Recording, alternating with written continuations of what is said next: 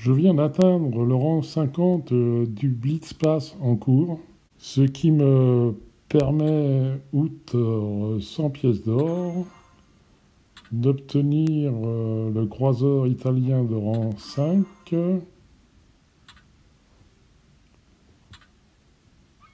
Raimondo Monte. Alors, qu'est-ce qu'on nous dit sur ce bateau? Détail, le navire de tête de la troisième série des croiseurs légers de classe Condottieri. Comparé à ses prédécesseurs, le Monte Cuccoli affichait des caractéristiques plus équilibrées grâce à son barrage renforcé. Il a un écran de fumée au diesel qui libère un écran de fumée au diesel qui dure 10 secondes. Il faut 60 secondes pour le recharger. Alors l'avantage de l'écran de fumée au diesel, c'est qu'il vous couvre, même si vous vous déplacez à vitesse maximale, mais par contre, il se dissipe plus vite qu'un écran de fumée normal. Alors c'est un bateau standard, donc il n'est pas premium, donc il faut euh, améliorer tous ces éléments. Donc je vais commencer par la coque, euh, qui de base a des points de structure de 18 500 que je passe à 20 720. Les canons principaux ont des dégâts AP de base de 470 et dégâts SAP, c'est-à-dire obus semi-perforants, de 570.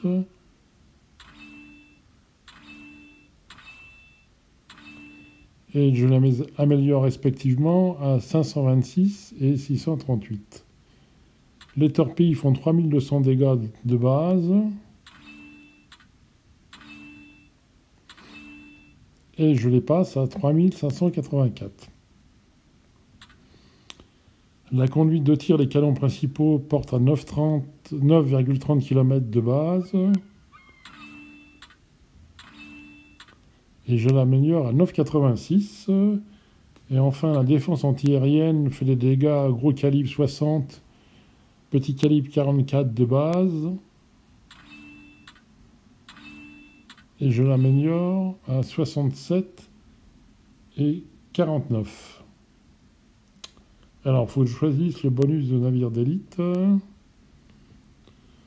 Alors, entre choix, entre, on a le choix entre Spécialisation d'escorte et mitrailleur d'élite. Euh, alors, spécialisation d'escorte, on a vitesse de rotation des canons plus 7%, vitesse maximale plus 3%, et dégâts des gros calibres antiaériens 5%.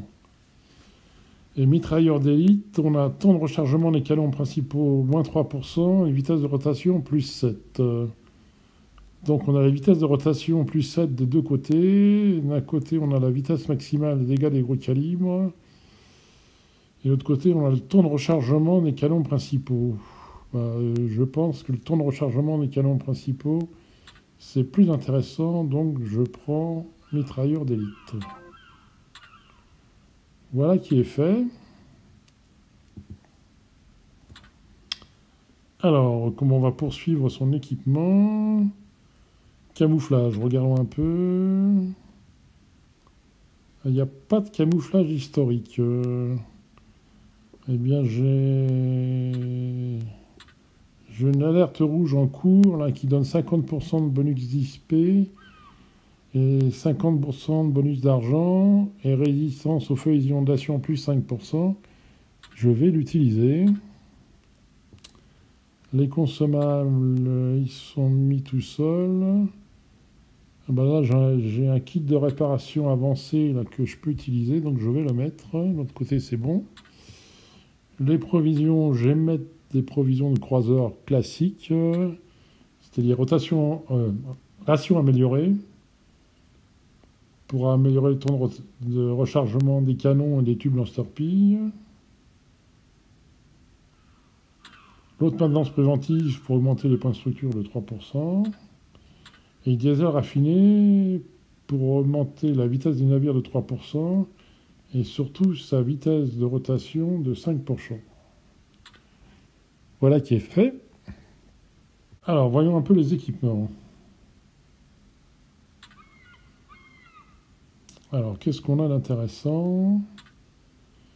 Vitesse de rotation des tubes lance-torpilles, plus 20%. Temps de rechargement des canons, moins 5%. Vitesse de rotation des canons principaux, plus 20%.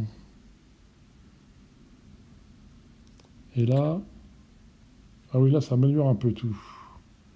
Bon, j'hésite entre la vitesse de rotation des lance-torpilles et celle des canons. Euh, dans un premier temps, je vais prendre celle des canons. Ensuite, là, ah ouais, donc ça, c'est pas intéressant, les temps de réparation, accélération non plus. Alors, accélération de la rotation 10%, surabilité des appareils gouvernés, ça, ça améliore la maniabilité. Donc, comme d'habitude, on pourrait hésiter avec la résistance aux feux inondations. Mais je vais plutôt prendre appareil à gouverner modification 1. Et pareil là, je vais prendre appareil gouverné modification 2, toujours pour euh, améliorer la rotation. Euh, je pourrais éventuellement prendre réduction des dégâts de torpille, mais je vais plutôt prendre ça. Des amplificateurs, donc moi je vais mettre des amplificateurs d'expérience là pour... Euh, en avoir plus. Donc j'ai tout, il est entièrement équipé. Donc euh, on va regarder un peu plus euh, de quoi il est équipé. Alors là, on nous parle des fameux obus SAP. Comparé aux obus SAP, aux obus AP habituels, obus performants, les, obus SAP, semi-perforants, affichent plus de dégâts mais sont moins perforant. D'accord, donc là si on regarde, alors euh, classe Condottieri, nom du navire Raimondo Montecuccioli, lancé en 1935, 20 720 points de structure, il file à 36,54 nœuds, il a des canons de 152, il a 4 tourelles doubles, donc de 152, qui se rechargent en 8,25 secondes, qui portent à 9,86 km. Les dégâts AP des canons principaux, c'est 526. Pour les SAP, c'est 638. Euh, tube lance-torpille, il en a 2 x 2 qui se recharge en 36 secondes, qui porte à 8,1 km, ce qui est pas mal. Dégâts 3584, vitesse des torpilles 61 nœuds, ce qui est bon aussi. Alors il est détectable à 7,32 km,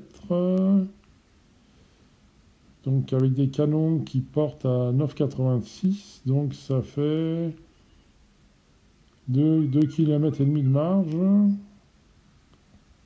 Et pour les torpilles, euh, ouais, ça fait, ça fait même pas un kilomètre de marge. Alors, si on fait le tour euh, du bateau, qu'est-ce qu'on voit? Alors bon, les tourelles euh, de 152 mm double, donc il y en a deux à l'avant et deux à l'arrière.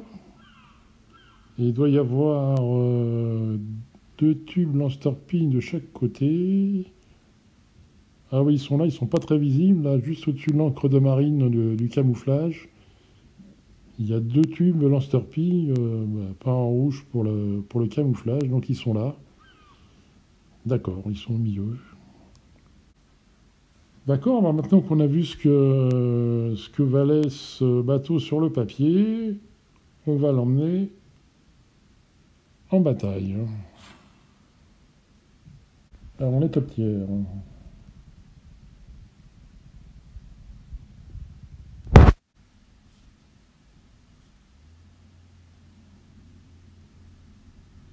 Alors, il y a une base centrale.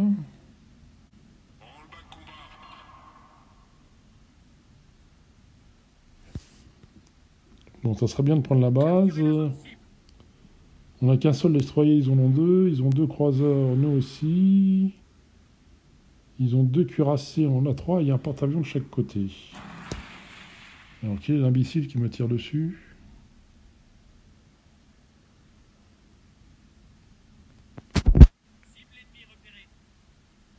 Bon, lui, il va, me, passer sous le nez, là. Qu'est-ce qu'il fait, là? Oh, Putain. Bon, tant pis, je passe devant. Allez.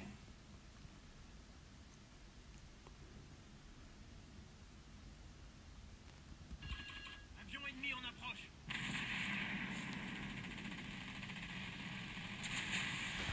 L'opération est sous contrôle.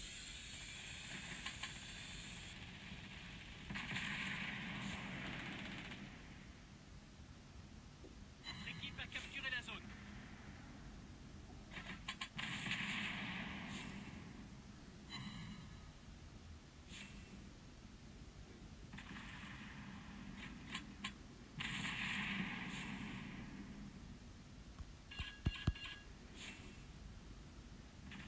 Des torpilles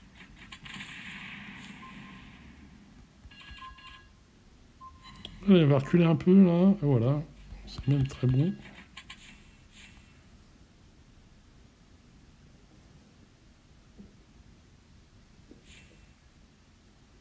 Donc Karlsruhe là, il va disparaître, non?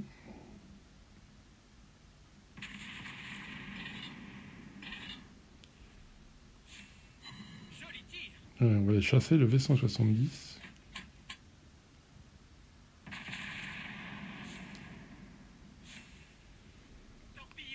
Si on était plusieurs à les tuer là-dessus, ça serait pas plus mal. Voilà.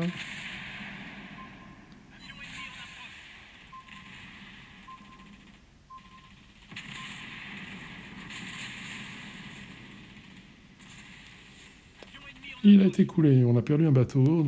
Ah non, non. C'était bien un bateau adverse qui a été détruit. On tient toujours la base. Bon, l'ennemi n'a pas compris qu'il fallait la prendre. À Orion. Alors, je pense que mes obus SAP vont avoir du mal. Ah, une citadelle, donc. Comme quoi. Bon, bah, je suis passé à la AP. On tient toujours la base, c'est plutôt bon. Ah oui, là j'ai fait un rebond. Bon, l'ennemi ne fait aucun effort pour prendre la base, donc on va continuer à se rapprocher de l'Orion.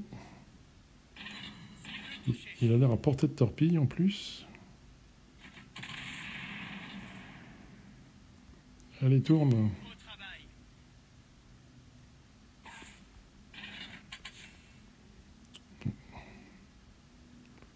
Il a du mal œuvré pour euh, éviter les torpilles. Bon, on l'a eu. Alors, Par contre, on perd la base, là. Je vais y retourner.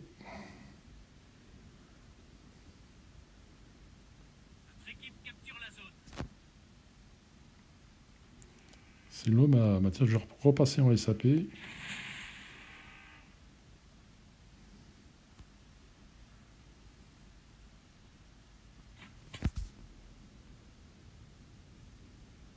Capturez la zone cible.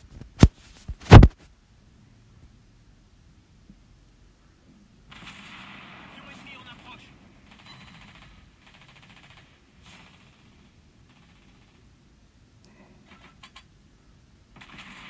L'équipe a capturé la zone. Et je l'ai eu. Bon, c'est un coup de chance, mais je l'ai eu. Donc Karlsruhe qui approche, là.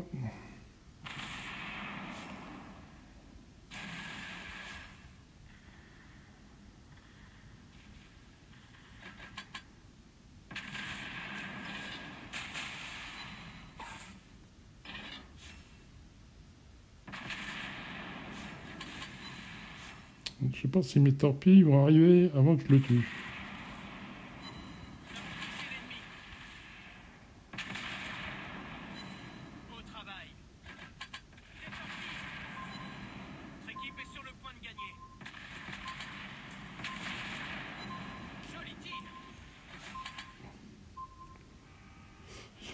Et voilà, on a gagné. 3000 de dégâts, bon, c'est rien de- d'extraordinaire. Donc, on a fait 63 coups de canon, une citadelle, un bateau détruit, une capture de zone. Alors, si on regarde, euh, on est deuxième, 23 000 de dégâts. On a un zéro Wyoming, là, ça fait toujours plaisir. Euh, bon, Et en face, bah, ils ont aussi un 0. Puis ils étaient nettement moins bons. Donc bah, les Italiens se sont distingués. Là, Giulio Cesare, qui est un excellent bateau, est premier. Très bien, bon. Bah, qu'est-ce que. Première impression sur, euh, sur ce bateau? Bah, C'est c'est un bon croiseur italien, euh, maniable, euh, bonne artillerie. Bah, les, les, obus SAP ont fait leur boulot. Hein. on a même réussi une, citadelle sur un cuirassé. Bon, les, les torpilles n'ont pas touché. bon, il n'y en a que deux de chaque côté. C'est un peu léger, mais bon, vu la maniabilité et la, et la bonne artillerie, je pense que c'est un croiseur qui, qui, doit exceller pour euh, chasser le destroyer le croiseur, et éventuellement harceler du cuirassé ou les finir s'ils sont presque, s'ils sont presque démolis. Mais enfin, c'était une bonne, euh, bonne acquisition grâce au Blitz Pass. Donc, euh, je ne regrette pas de l'avoir. Et bon, bah, j'attends impatiemment les autres croiseurs italiens, toute la ligne, hein, parce que je n'ai que des, que des bons souvenirs avec les bateaux italiens que j'ai déjà. Voilà, à bientôt pour d'autres vidéos.